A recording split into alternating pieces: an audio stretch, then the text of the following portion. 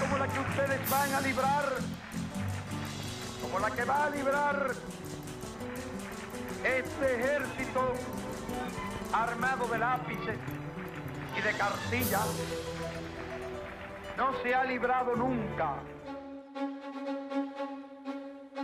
Por eso era especialmente hermoso, ¿no? Darse cuenta de que, de que lo que uno estaba haciendo era una ayuda, ¿no?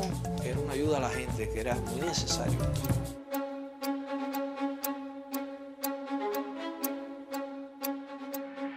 Sábado, solo por Telesur.